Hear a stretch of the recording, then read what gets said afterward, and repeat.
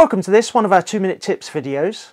And in this video we're going to focus on shutter type, which is an update from our previous 2 minute tips on electronic front curtain shutter.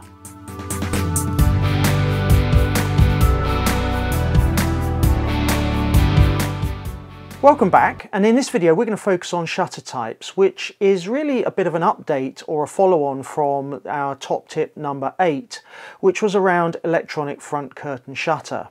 Those of you who've updated your firmware to version 2 on the Z series cameras um, which included the much heralded eye autofocus may have noticed in the release notes that there have been some changes to the um, settings around electronic front curtain shutter. D5 in your custom settings menu. What was electronic front curtain shutter has now changed its name to shutter types. And this is really a little update that Nikon has done to give a little more automation to us as users. In that setting, you'll now see there are three options. There is auto, there is mechanical shutter, and there's electronic shutter. The Nikon Z series cameras, in common with many mirrorless cameras, have both a mechanical shutter and an electronic shutter. And that gives us options, and there are pros and cons with each of those. If, for example, noise is your primary concern, then silent shutter might be the best option. I'll put a card above to our two minute tip on silent shutter. However, with silent shutter, there are quite a lot of limitations on when you can use it. If, however, vibration is your issue, then electronic front curtain shutter may be the best option for you. Whilst it uses the electronic shutter for the front curtain, it still uses the mechanical shutter for the rear curtain.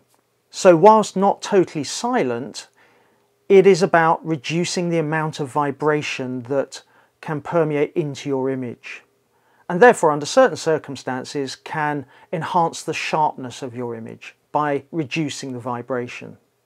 There are still some uh, limitations. For example, you can't use electronic front curtain shutter at a shutter speed of faster than 1 2000th of a second. Um, however, some of the previous limitations around ISO have been removed in version 2 of the firmware. So really you're down to just a limitation on shutter speed. However, you do still have to consider whether you're shooting in a situation which has frequency-based lights such as fluorescent or sodium street lights because that can affect um, an electronic shutter.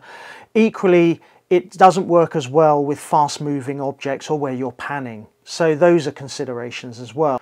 With version 2 of the firmware, you now get the option to have electronic front curtain shutter um, enabled permanently, have mechanical shutter permanently, or an auto setting where the camera will look at the shutter speed that you're using and for slow shutter speeds up to about 1 250th of a second it will use electronic front curtain shutter and for shutter speeds faster than 1 250th of a second it will use a mechanical shutter.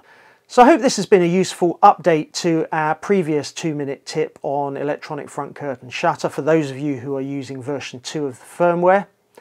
If you are using version 2, let me know how it's going. Have you had any problems with it or are you finding there's some really useful enhancements to the Z series cameras? Drop your thoughts in the uh, comments below, It'd be great to hear from you. If you're enjoying these two minute tips, don't forget to subscribe, hit the notification bell and you'll be notified of future two minute top tips and other videos that we're producing.